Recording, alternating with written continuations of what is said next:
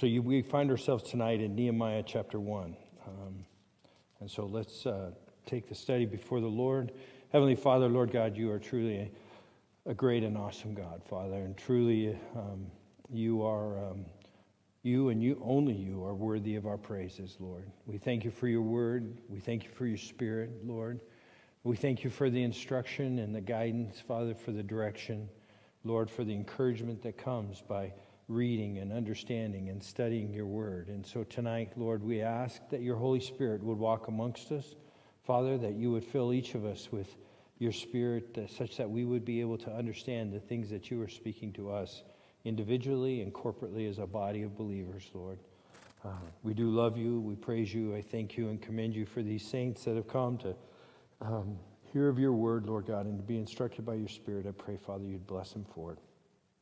In Jesus' name. Amen. So, Nehemiah chapter 1.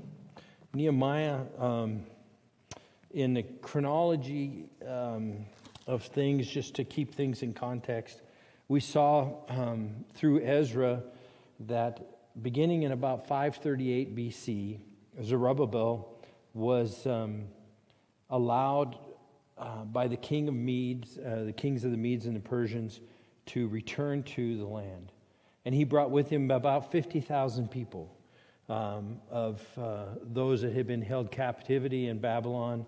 And of course, the Medes and the Persians had overcome Nebuchadnezzar uh, during that uh, 70 years um, that they had been in captivity. And so Zerubbabel was called by God to bring them back to the land, and he did. He led a group of 50,000. And their first, per, uh, first priority was to reestablish the, the temple and more particularly to reestablish the altar. And they did that and they accomplished it. And, and then, um, as we saw through the study of Ezra, they, um, they uh, lost their focus due to uh, distractions, due to persecution, um, and for a period of time, but ultimately they did complete the temple.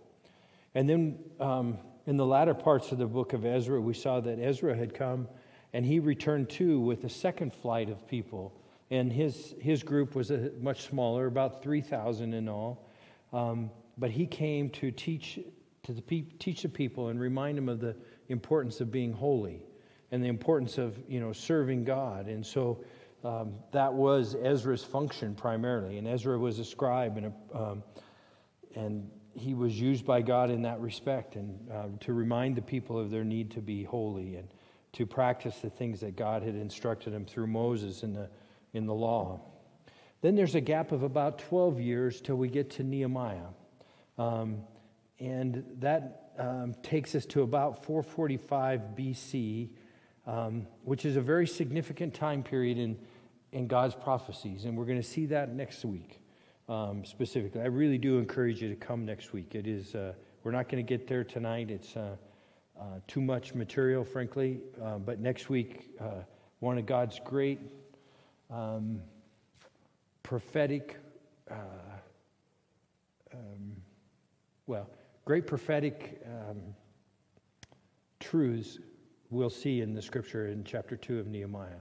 Um, Daniel's, one of Daniel's specific um, prophecies will come true. Um, and so that is very encouraging and uh, very exciting uh, part of this book. But in 445 BC, Nehemiah um, is allowed to return, and his purpose is specifically, and what he asks uh, Artaxerxes is the, to rebuild the walls of Jerusalem. And so that occurs, he does get that permission and returns in 445 BC. Uh, Nehemiah had a, um, a ministry that is very, very important for us to study. And um, he is many things. Um, he is a leader. Um, he's a great example of a leader. Um, he is, um, as a leader, he is one who cares, and he cares deeply. He was not, though, a priest, and he was not a prophet. He was not um, anyone unique or um, in the respect of his skills and the things that uh, God had allowed him um, to be equipped with, but he was a leader. and so, as a result, we see the book of Nehemiah frequently taught as a book on leadership, and it is a great um, book in that regard.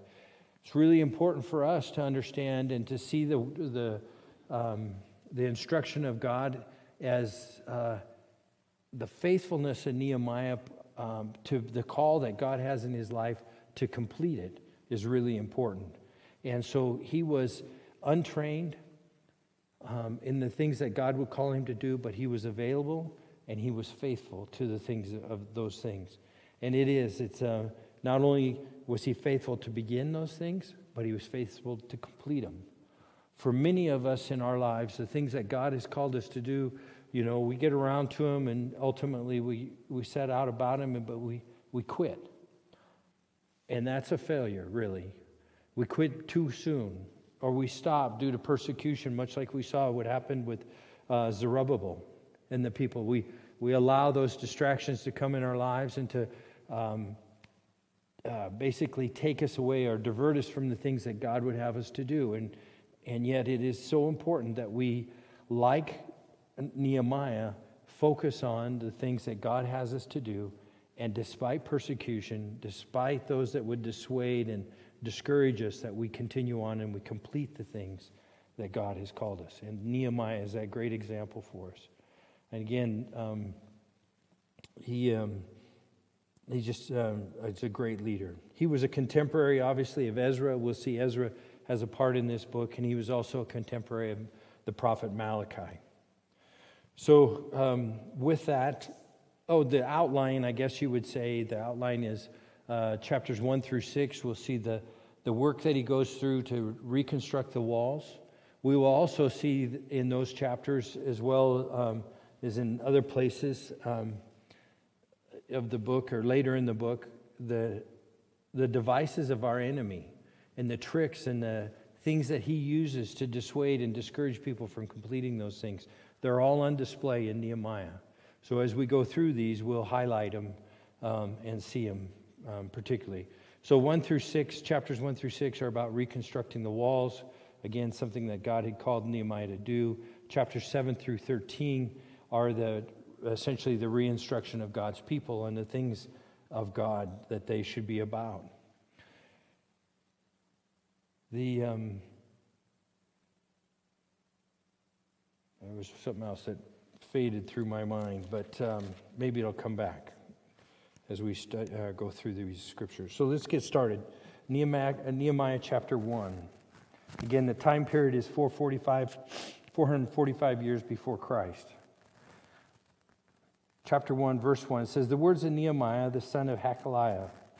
It came to pass in the month of Chislev, in the 20th year, as I was in Shushan, the citadel, that Hanani, one of my brethren, came with men from Judah, and I asked them concerning the Jews who had escaped, who had survived the cap- captivity, and concerning Jerusalem. And they said to me, The survivors who are left from the captivity in the province are there in great distress and reproach. The wall of Jerusalem is also broken down, and its gates are burned with fire. So it was when I heard these words that I sat down and wept and mourned for many days. I was fasting and praying before the God of heaven. So this gets us started um, in this account. And as it says here in uh, verse 1, that Nehemiah, distinguished from other Nehemiahs that we might find in the scripture, is the son of Hachaliah. Um, it came to pass in the month of Chislev Chislev is November and December of the year, of what we know of our calendar. And it's important that, um, you know, uh, well, all of God's word is important, but it's uh, the more you study it, the more you recognize that there is no, um, God's just not trying to fill up space with the words that He writes. And by His Holy Spirit, is He, um, he does these things.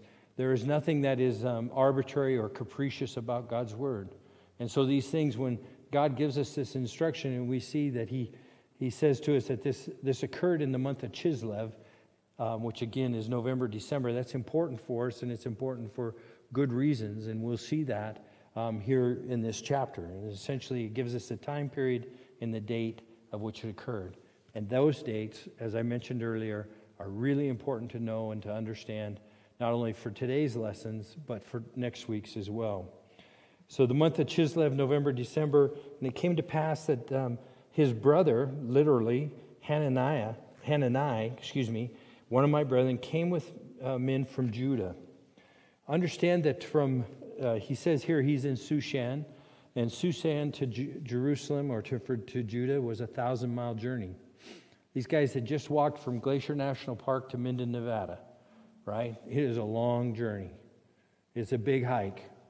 Um, it was no trivial thing that they had come a thousand miles. Um, and he asked, though, and this is important to see in the heart of Nehemiah, he asks him and he says, um, And I asked them concerning the Jews who had escaped, who and survived the captivity, and concerning Jerusalem. So there are, I think, and see in here, three groups of people he's concerned with. He's concerned with those where he refers to them as who had escaped, those that had, um, in reality, had accompanied either Zerubbabel, the 50,000, or Ezra, the 3,000, and had returned to Jerusalem with the permission of the king. That's one group he was concerned with. The second group that he was concerned with was a group that had survived the captivity, who Nebuchadnezzar had actually left behind in Babylon, or excuse me, in Judah at the destruction of Jerusalem. And that group of people um, in 586 BC, when Nebuchadnezzar had uh, finally destroyed the city, um, he'd come and put it under siege for the third time. He was truly irritated with the Jews that he had to come back and do it yet again. And he, I mean, he dismantled the city as we saw um, in the earlier chap- or earlier books that we studied. I mean, he, he destroyed it. He utterly destroyed Jerusalem, brick by brick, block by block. He did burn it down. Um, he was uh, literally uh, ticked, um, using today's vernacular, when he had to come back a third time. So that, but that is the second group of people he's concerned about. But those that survived the captivity, that had left behind, and for 70 years now had been there trying to exist in that land with very little spiritual leadership, if any, um, and just living off the you know, amongst the wild beasts and the, the other raiders that no doubt had inhabited the land at that time.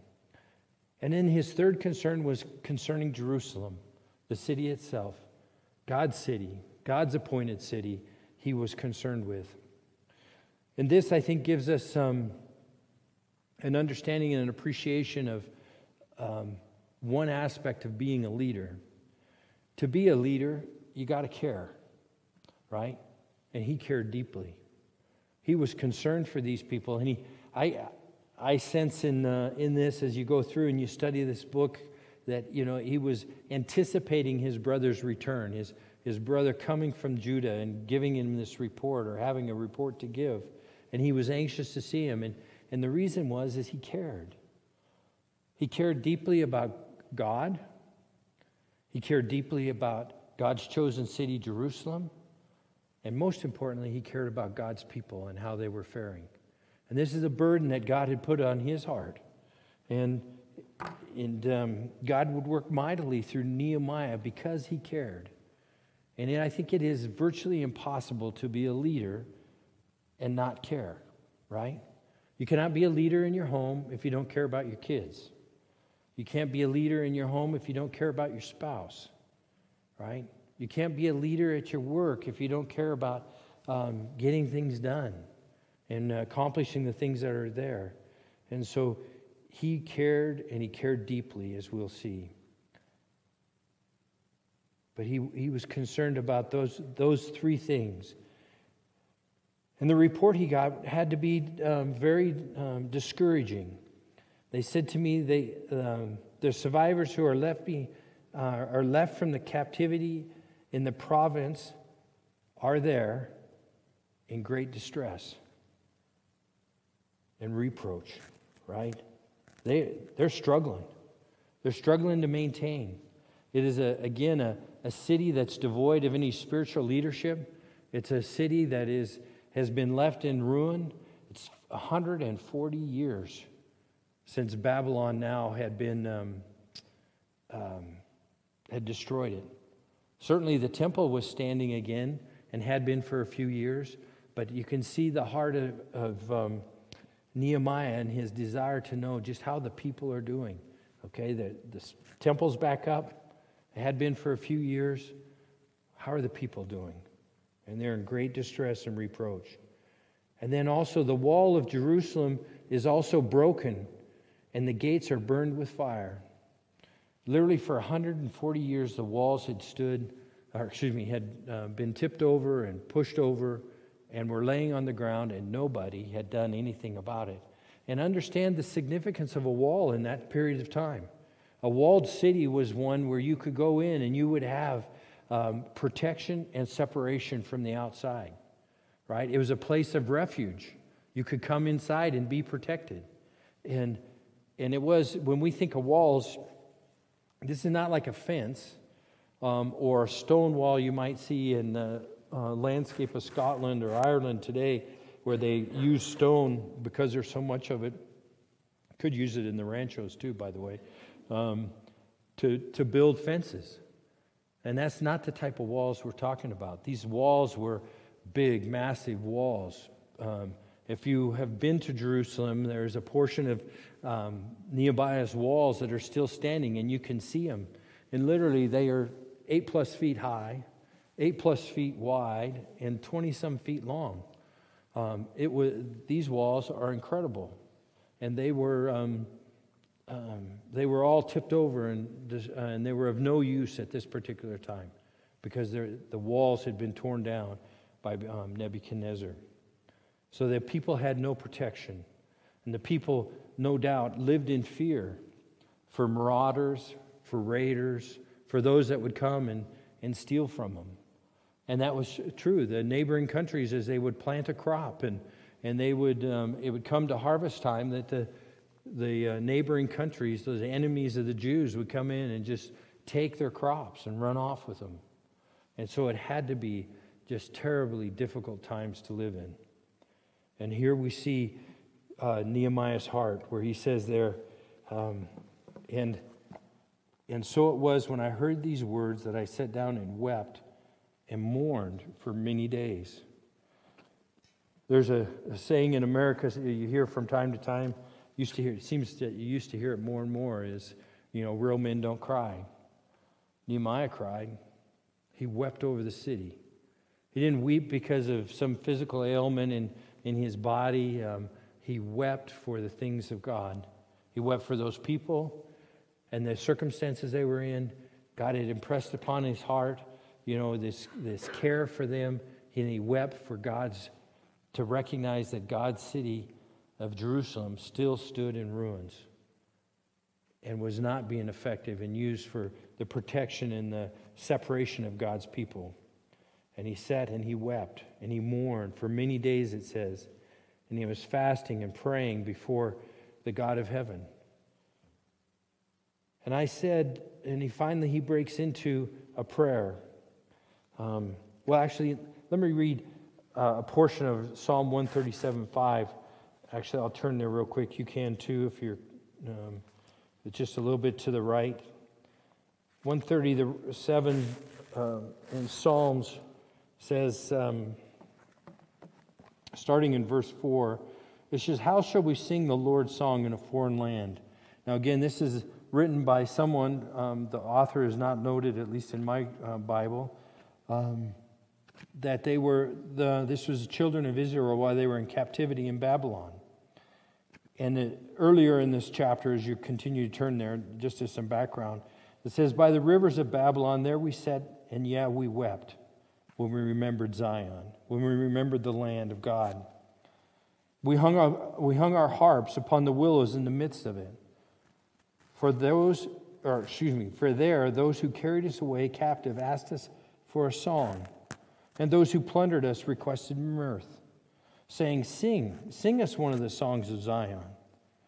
In verse 4, it says, How shall we sing the Lord's song in a foreign land? If I forget you, O Jerusalem, let my right hand forget its skill.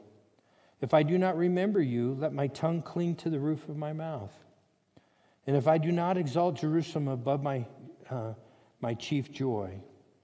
Verse 7 Remember, O Lord, against the sons of Edom, the day of Jerusalem, who said, Raise it, raise it to its very foundation. O daughter of Babylon, who are to be destroyed, happy the one who repays you as you have served us. Happy the one who takes and dashes your little ones against the rock. But the, the people of, that were held in captivity at this particular time in Babylon, um, you know, they, it was a indignation to them. It was suffering. It was hard on them. And they were mocked and asked to sing songs. And the writer of the psalm says, you know, um, if I forget you, O Jerusalem, let my right hand forget its skill.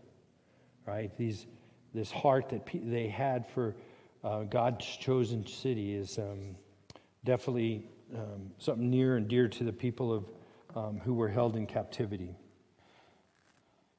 In verse 5, it says, And I pray, um, Lord God of heaven, O great and awesome God, you who keep your covenant and mercy with those who love you and observe your commandments, please let your ear be attentive and your eyes open, that you may hear the prayer of your servant, which I pray before you now day and night for the children of Israel, your servants, and confess the sins of the children of Israel which we have sinned against you. Both my father's house and I have sinned. We have acted very corruptly against you and have not kept the commandments, the statutes, nor the ordinances which you commanded your servant Moses.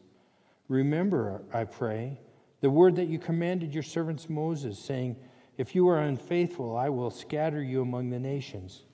But if you return to me and keep my commandments and do them, though some of you were cast out to the farthest part of the heaven, yet I will gather them from there and bring them to the place which I have chosen as a dwelling for my name. Now these are your servants and your people, whom you have redeemed by your great power and by your strong hand. O Lord, I pray, please let your ear be attentive to the prayer of your servant and to prayer of your servants who desire to uh, fear your name, and let your servant prosper this day and pray, and grant him mercy in the sight of this man. So here we have this uh, tremendous prayer of uh, Nehemiah. This is the first of 12 that we're going to see.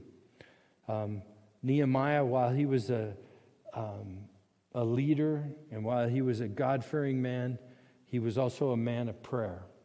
We're going to see that he's a man of action, but first, he was a man of prayer. And there's much, um, much that we can learn from that.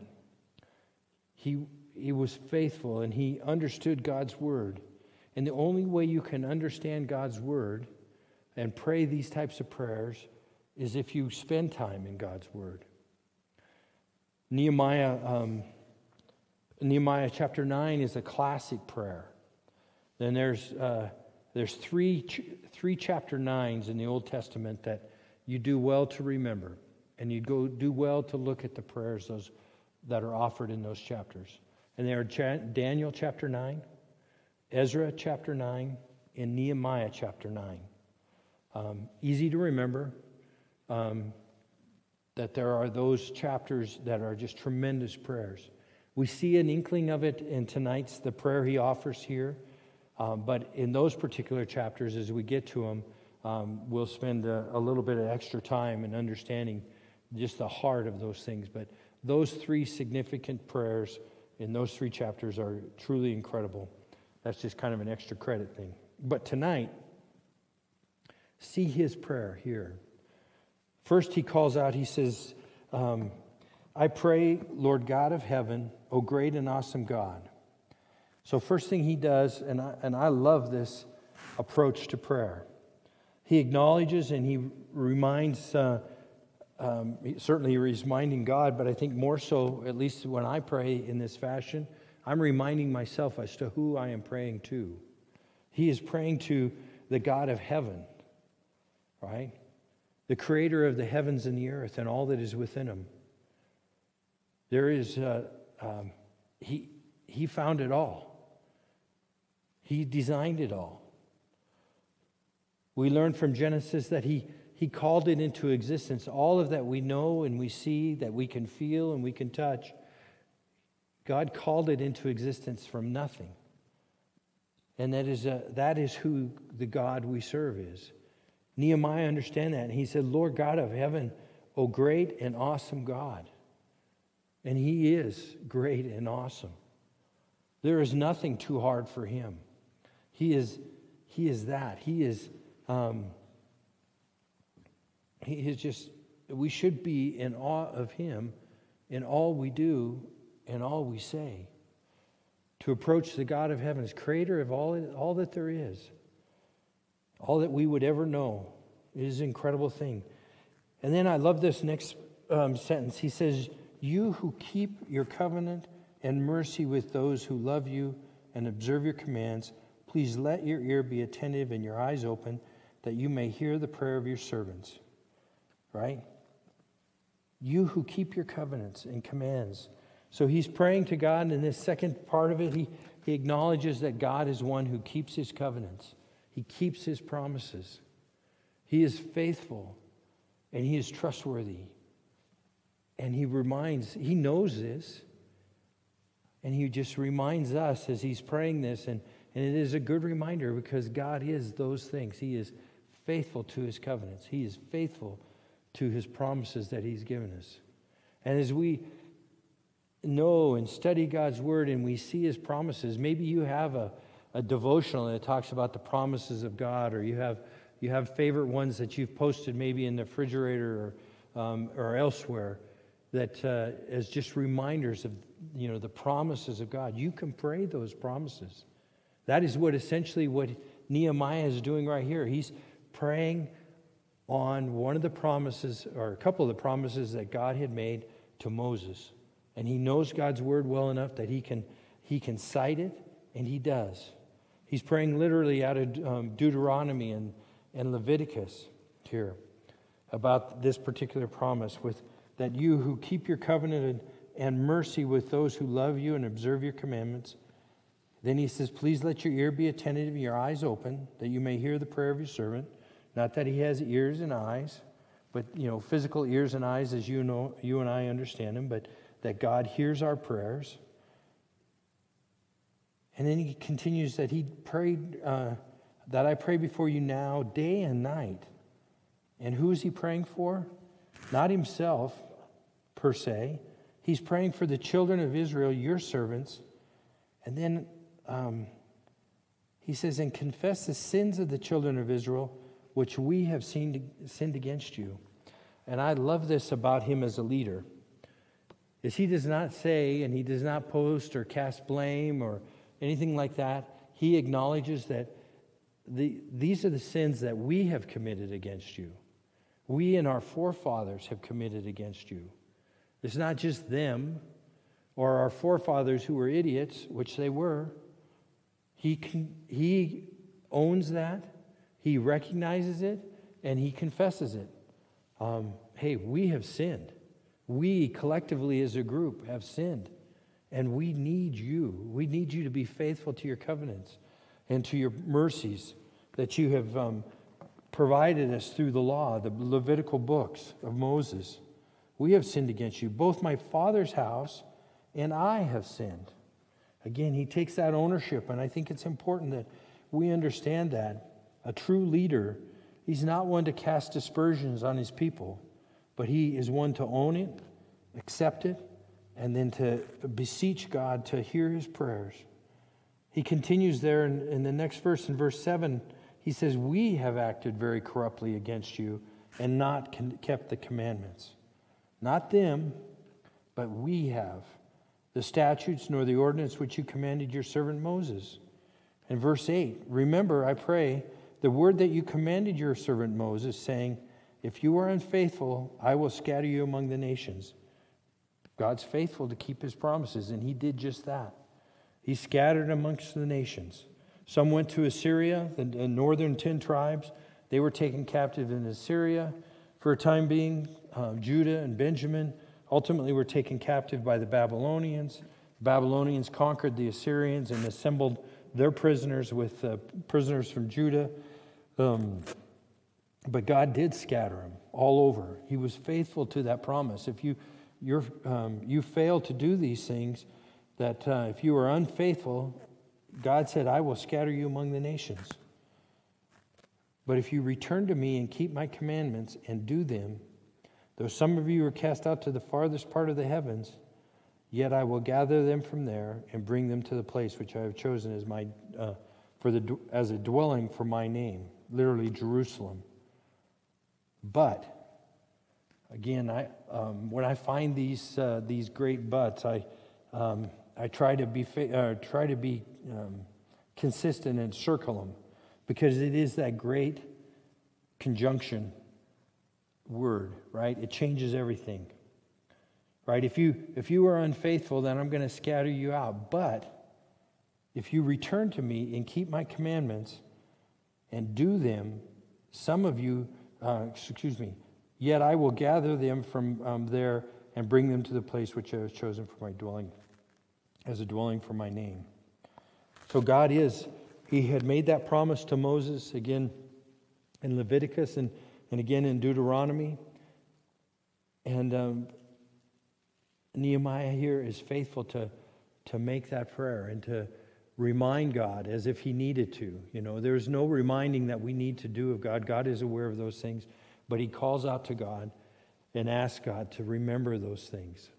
More for, I believe, for Nehemiah than for God, but nonetheless important. As we find ourselves in difficult places um, and we, are, uh, we cry out to God in our prayers, um, which He desires to hear from us, call out.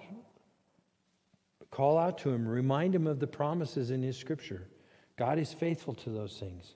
He promises that if you will confess your sins before Him and by faith put your trust in, in Christ, that He is going to be faithful and that you will be saved. Right? That is a great promise and one that each of us need to make or need to call upon um, to be saved in this world is that faithful promise of God that if we be uh, faithful to confess our sins and by faith believe in his son Jesus Christ, then he will forgive our sins and we will be saved for eternity. Just one of the many great promises of God, perhaps the most important one in our, at, in our lives in the, um, this time period of the New Testament. Verse 10 Now these are your servants. He again continuing on Nehemiah's prayer. Now these are your servants and your people, whom you have redeemed by your great power and by your strong hand. Again, reminding them of um, God's uh, pulling them out of, um, out of Egypt, out of the world, how He provided for them for 40 years in the desert, how He brought them into the land. These are the ones that you redeemed by your great power and by your strong hand. And I pray, please, let your ear be attentive to the prayer of your servant, to the prayer of your servants who desire to fear your name. And then, and let your servant prosper this day, I pray, and grant him mercy in the sight of this man. This man is Artaxerxes Longimanus, who was the ruler of the, the Persian army, or Persian, uh, of Persia at that particular time. And so he is praying, and, and I believe um, from reading this that you know, he heard the, the report of his brother Hanani. He learned of the situation and the, uh, the conditions of the people in Jerusalem, those that had um, survived the captivity and were in the land, as well as those that had returned to the land. And he began, he uh, began praying. He began, uh, certainly he was weeping and mourning, it says, for many days. But I believe what he was weeping and mourning about was what could, would God have him do to, um, to further God's purposes, to restore the walls, you know, to learn that the city walls were still torn down and recognize what it, that meant to the people that they left or lived day by day in fear of being um, ransacked, in fear of being invaded. And so his heart was that. And I believe his prayers for that period of time was, What, Lord, would you have me to do? And he concludes his prayer here. He says, and, uh, and let your servant prosper this day, I pray, and grant him mercy in the sight of this man. And I believe he had purposed in his heart that he was going to go to his ruler, right, the, who was the king. We're going to see here in just a minute, and to ask him for permission to go and, uh, and to help. So, and it says there in the last verse of uh, chapter 1, he says, For I was the king's cupbearer. He was a man of significance in, in Persia at this time. Shushan, as we saw where he was at when this, he got this report from his brother, um, was uh, basically the summer, or excuse me, the winter um, capital or the winter, um, oh, um, shoot, lost the word, um, the winter palace for um, the Medes at that particular time, or excuse me, the Persians at that time. And so that's where they were. They were in Iraq. Um, and he was there with him as being the cupbearer. He was a, a very much a trusted um, uh, servant. He was uh, had the king's confidence. He was the one, as the cupbearer, who would taste the food each night, and he would drink the wine each night. In that particular time, I imagine that the kings of Persia had access to a lot of wine. And so it was his job just to taste it and make sure that nobody was trying or attempting to poison the king, the ruler. And so he, again, he was in a very um, uh, important um, position. He was, he was trusted and he, acts, he had access to the king daily, something that very few people had and enjoyed. He was that, again, that trusted advisor to the king. And while he was that, he was also a slave.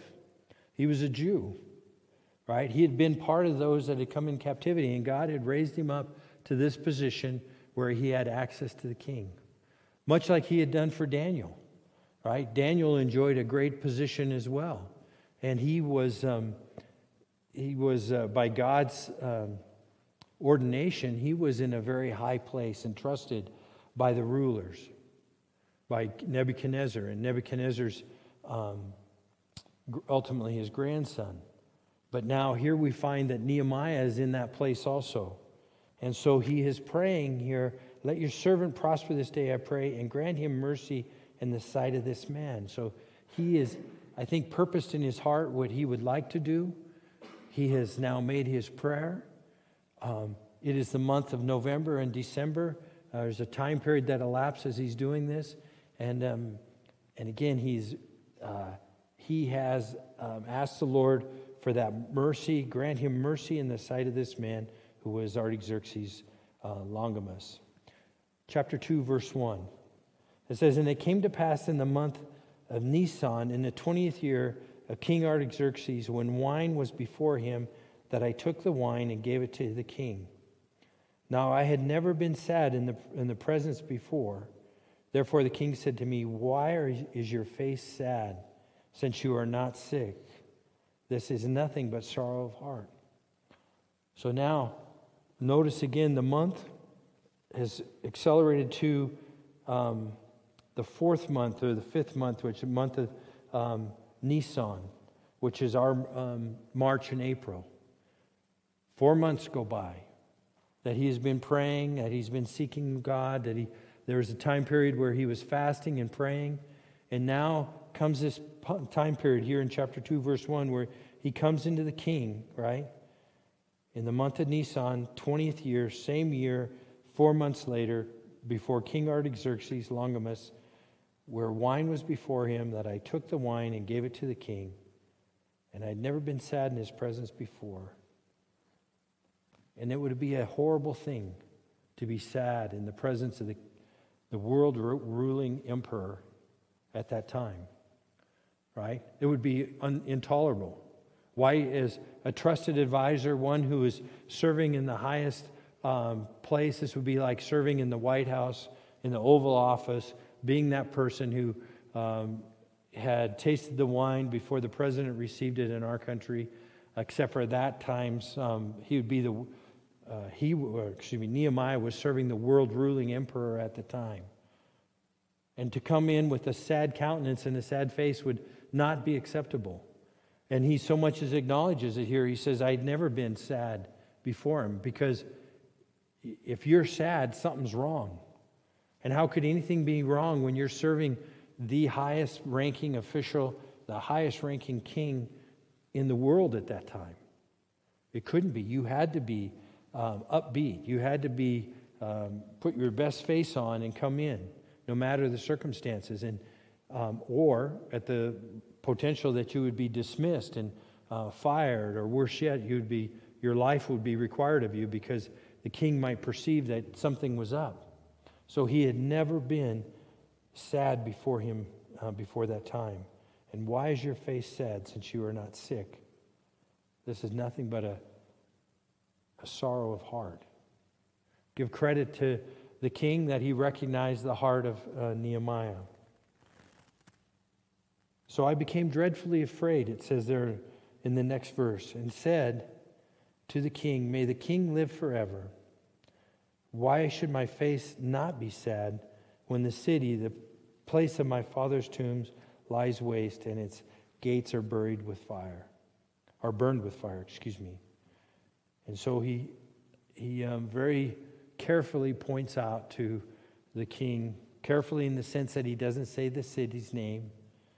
He just says, he uh, uses there um, that he should not be said when the city, the place of my father's tombs, lie waste and its gates be burned with fire. Why shouldn't I be sad when I've learned of that? But he first, and he starts out there and uh, he uh, points out that may the king live forever.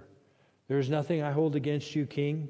Nothing I, nothing ill, no ill will here. Um, but he was dreadfully afraid, and he recognized whose presence he was in, that that king could call for his life at that particular moment. But he had prayed. He had spent four months praying and seeking God for this direction, and so, so it was. Then the king said to me, What do you request? And so I prayed to the God of heaven, and I, and I said to the king, If it pleases the king, and if your servant has found favor in your sight, I ask that you send me to Judah, to the city of my father's tombs, that I may rebuild it. And so he, notice there, he offers this quick prayer, right? So I prayed to God of heaven. That's that quick prayer that you might say in your in your mind or in your heart when you're confronted with a situation and you just recognize in your spirit your need for God and you call out to Him God, give me the words to say. God, speak to me or speak through me now. He doesn't offer it verbally in the presence of the king, but in his heart and his mind, he is praying. And I pray to God to heaven. And I, then he acknowledges and he makes the request to the king. And he is very careful here because you don't tell the king what you're going to do, right? And people in my office, they tell me when they're going to take uh, vacations. You don't tell the king of the, the uh, world ruling empire at that particular time when you're going to decide you're going to take a vacation. You, you ask, may it please the king, right? Um, it's a foreign concept in my office. But uh, if it pleases the king, and if your servant has found favor in your sight, of my brother's tombs, excuse me, may I ask that you send me to Judah, to the city of my father's tombs, that I may rebuild it. So God had purposed in Nehemiah's heart at this particular time what exactly he would have him to do. And that would be to rebuild the walls, rebuild Jerusalem. And he comes and he seeks the king's favor to, to go and do that. And we're going to stop there tonight um, because I, there's. Uh, a lot to, to cover in the next several verses, of which we don't have time tonight, and it would be doing it injustice to do otherwise. There's a hand up waving in the air. She's in prayer.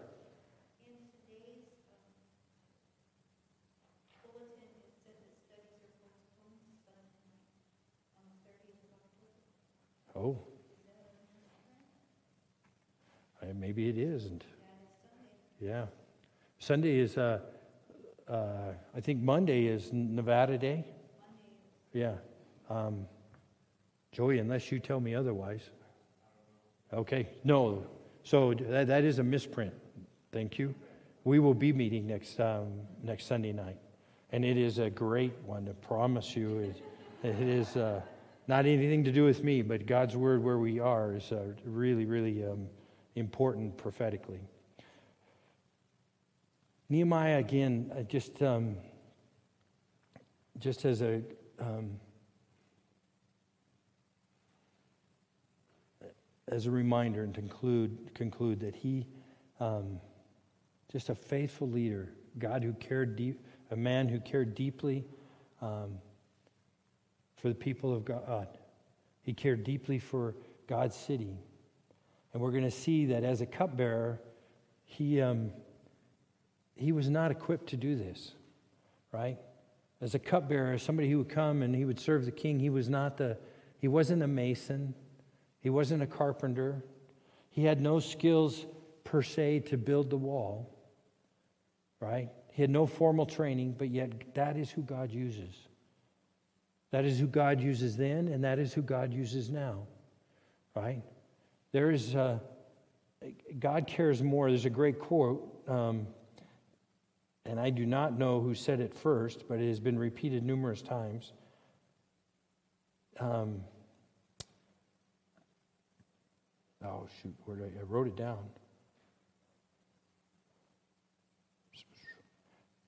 The quote is God is not concerned with our ability, but our availability.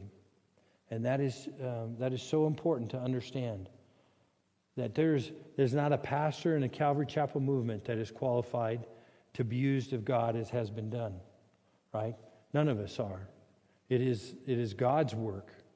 And there's, uh, and it, the only success that has occurred in the Calvary Chapel movement, or frankly in any church, um, has been by God's hand, right? It's not because of the great ability of the man or uh, the great uh, location that they are. It is by their making themselves available for God's purpose. And that is our calling, is um, to be available, seek God to do whatever he would do.